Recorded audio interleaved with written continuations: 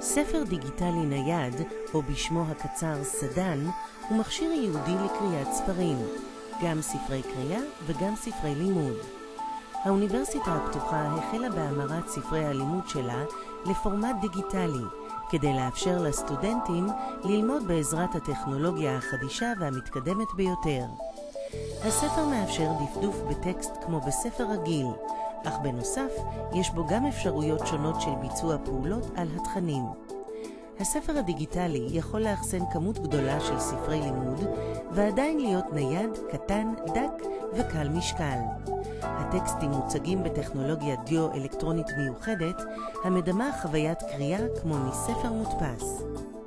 לספר יש זוג רמקולים המאפשרים להאזין לקבצי מוזיקה בפורמטים שונים. צריכת החשמל שלו נמוכה מאוד, והסוללה המיוחדת מאפשרת שימוש לאורך זמן רב ללא טעינה. הפעלת המכשיר קלה ופשוטה. הדלקת הספר וכיבויו מתבצעות על ידי לחיצה על כפתור ההפעלה שנמצא בחלקו העליון של המכשיר. בסיום הקריאה בספר אין צורך בכיבויו, מכיוון שהספר צורך חשמל רק בעת הדפדוף. דרך התפריט הראשי של הסדן אפשר לבחור בין הפעולות השונות.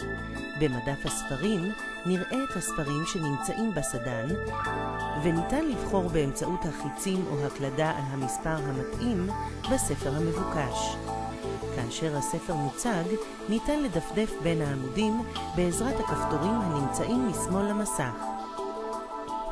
במצב קריאה ניתן לעשות חיפוש בטקסט דרך מקש החיפוש, וכן להוסיף הערות וסימניות בתוכן הספר.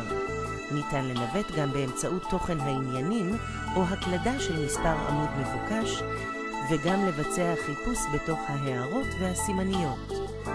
על מנת לשנות את הגדרות הקריאה, כמו גודל וסוג הגופן, כיוון הדף ועוד, יש להיכנס דרך מקש זה ולבחור בהגדרות הרצויות. מהתפריט הראשי ניתן לבחור במוזיקה, מצב המאפשר האזנה של קבצים קוליים או מוזיקה. להטענה של ספר לימוד לסדן צריך לשמור את הקובץ שלנו במחשב במקום כלשהו ולהשתמש בכבל העברת הנתונים שמצורף לערכה. יש לחבר אותו בצד אחד לחיבור ה-USB של המחשב האישי ובצד השני לחלק התחתון של הסדן. יש לאשר את הקישור בלחיצה על מקש האנטר בסדן.